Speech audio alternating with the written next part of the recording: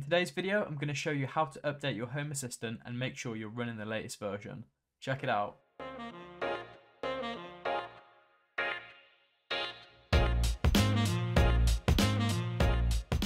What's going on guys? I hope you're all doing well. I've got a nice informative video for you today, so let's get straight into it. With the recent security disclosures by Home Assistant, I've had a lot of new Home Assistant users messaging me asking how they can update and check that their Home Assistant is running the latest version.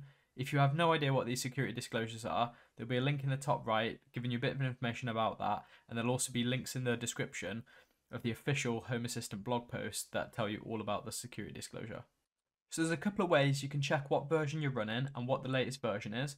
So to start with, we're going to come here to the supervisor menu item give that a click, and straight away we can see that there's an update available. There's a big card here that tells us what the latest version is, and there's also a release notes link there that we can click if we want to see more information about it.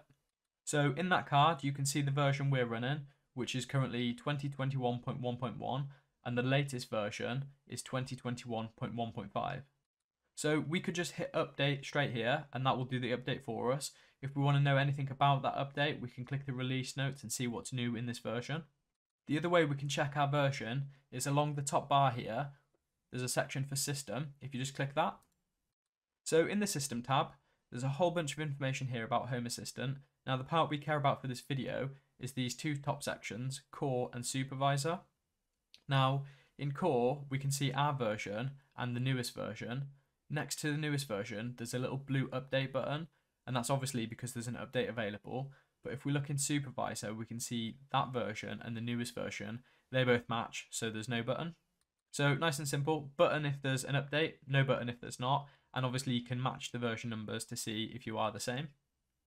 So we could either click update here, or we could update back from that supervisor menu just there. For this video, we're going to just update from here. So when we hit that update button, we get a little pop-up to ask us to confirm that we want to update. So we're just going to click update now. You'll see that little spinning wheel and it's going to take a few minutes now for Home Assistant to download the update and then run through the update. While this is doing its thing, it's best to just leave it. You can carry on clicking through your menus and accessing your stuff, but once that update's done, it's going to restart and it's going to kick you out of whatever you're doing. So you don't want to be caught in the middle of creating an automation or writing a script or something. So I should just point out as well, we're currently updating the Home Assistant core. If there was an update for the Home Assistant Supervisor, which we also saw in that other menu, that would also show up here as well. So you can update both the core and the supervisor from this screen and also from the system screen.